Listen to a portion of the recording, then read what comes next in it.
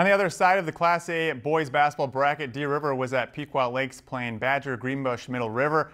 It's been a, year's, a year of firsts for the Warriors. They won their first ever conference championship in the program history, are making their first ever trip to the state tournament in program history, and hopefully by the end of the night, get their first ever state tourney win in program history. Warriors are the two seed in the North Division of Class A. Gators are the three seed after knocking off Cass Lake-Bena in the Section 8A final. Early first half, Deer River came out shooting Mikhail Wakanabo for three. Warriors led 35 to 29 at the half. In the second half, Gators would tie the game at 37 with a layup from Adam Benke. He finished with 15. And with 10 minutes to play, Sam Ryer buries the triple to put the Warriors up 45-42.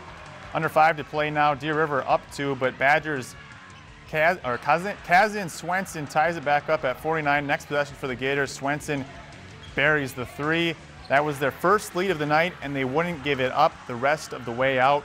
BGMR advances 58 to 52. The Gators only have had the lead for three minutes and 22 seconds, but they had more when the clock struck clock struck clock clock struck zero. Deer River's historic season comes to a close in the state quarterfinals.